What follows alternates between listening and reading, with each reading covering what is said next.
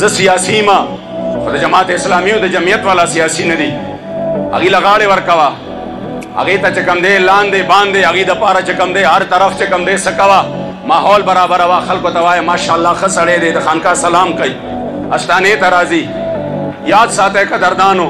دا خو الله په ما باندې کرم وکړ چې زه د رسمي خلکو نه الحمدلله راوښکلم چې چا په مونږ باندې سره اجتماعګانې غټولې چې چا مونږ باندې سره عوام راټولول الحمدلله دا د الله پاک لاک لاک شکرونه دي او سواد خلکو تاسو ته وایم که شفیق امینی راغواړی شفیق امینی به د ټولو نه اول د سیاست خبره کوي ویږه دی باندې په منبر به هم کوي په محراب کې به هم کوي جنازه کې به هم کوي په هر ځای کې به کوي ځکه چې زمونږ سیاست د دغه ګندګۍ او د غلاظت د پاره نه دی زمونږ سیاست د مدینه منورې د جانان د دین د پاره دی زمانی که مبارک فرمایلی و چې سیاست جدا کوي له شریعت ځینې چې چاته په خادم حسین رضوي صاحب مبارک کې عشق رسول نه ښکاري او عمران خان کې ورته عشق رسول ښکاري هغه د خپل سینې علاج وکړي چې چاته د حضور علی السلام مبارک په فنا فی خاتم النبیین امیر المجاهدین کې د حضور د عشق او وفا درس نخکاری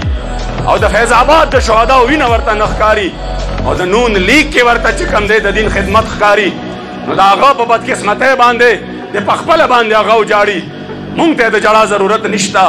و ان شاء الله زمونږ ایمان او عقیده دا ده چې سیاست جدا کوي له شریعت ځینې